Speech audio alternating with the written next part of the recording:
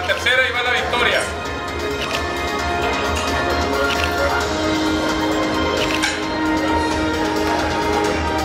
Muy bien. Buen equipo.